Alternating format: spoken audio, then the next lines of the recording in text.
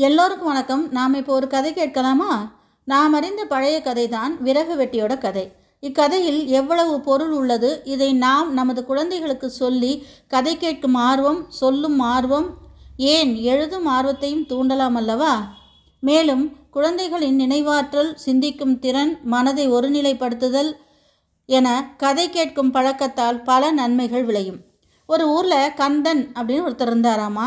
வேலை எதுவும் இல்லை. அவருக்கு வேலை எதுவும் இல்லாததால் மற்றவர்கள் சொல்லும் வேலைகளை விறகு தூக்கிறது சுமைகளை தூக்கிறது அங்கே கொண்டு போய் இங்கே கொண்டு போ என இதுபோல் மற்றவர்களுக்கு உதவி செய்பவராகவே இருந்தார்.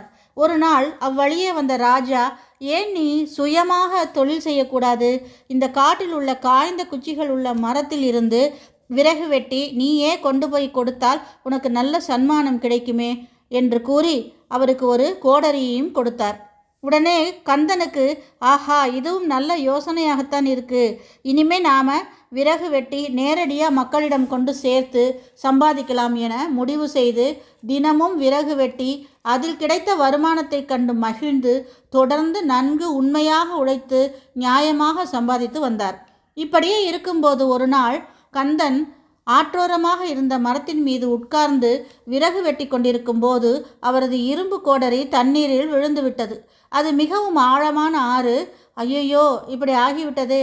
நாம் எப்படி இந்த கோடரியை எடுக்க போகிறோம் கோடரி இல்லாமல் எப்படி விறகு வெட்டுறது என மிகவும் கவலையோடு உட்கார்ந்துருக்கும்போது அந்த ஆற்றில் இருந்து ஒரு தேவதை தோன்றி ஒரு தங்க கோடரியை எடுத்து இந்தா இதுதானே உனது கோடரி எடுத்துக்கொள் என்றார்கள். உடனே இது என்னுடையது அல்ல என்னுடையது இரும்பு கோடரி என்றார். அடுத்தபடியாக ஆற்றில் மூழ்கி தேவதை ஒரு வெள்ளி கோடரியை எடுத்து காட்டி இந்தா இதை எடுத்துக்கொள் என்றது. அதற்கும் கந்தன் ஊஹும் இது என்னுடையது அல்ல என்னுடையது இரும்பு கோடரி என்று கூறி மீண்டும் சோகமானார். கடைசியாக தேவதை நீரில் மூழ்கி ஒரு கோடரியை எடுத்து இதுவா உனது கோடரி என்று பார் என்றது. உடனே கந்தன் ஆஹா ஆமா இதுதான் என்னுடையது.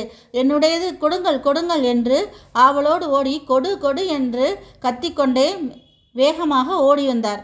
உடனே தேவதை இரு இரு தண்ணீருக்குள் விழுந்து விடாதே. நான் வேண்டுமென்றுதான் மாற்றி மாற்றி கேட்டேன். நீ உண்மையாக ஆசைப்படாமல் உனது இரும்பு கோடரியை மட்டும் கிடைக்க ஆசைப்பட்டாய்.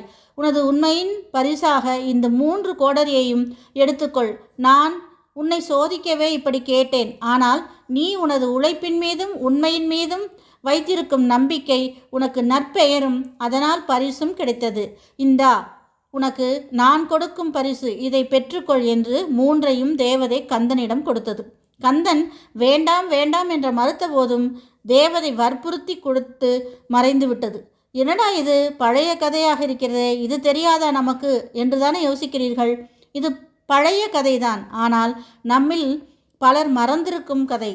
நாம் இக்கதையை இப்போது நினைவில் கொண்டு வருவோம். நம் குழந்தைகளுக்கு சொல்வோம். முன்பே இக்கதையை குழந்தைகளுக்கு சொல்லி இருப்பவர்களுக்கு நன்றி மகிழ்ச்சி. இதன் பொருள் பற்றி சற்று சிந்தியுங்கள். ஒன்று உழைப்பு. இரண்டு தனியான தொழில் செய்ய முயற்சி. மூன்றாவது உண்மை. நான்காவது துன்பம் வரும்போது அதை எப்படி தீர்ப்பது என கந்தனின் பொறுமை.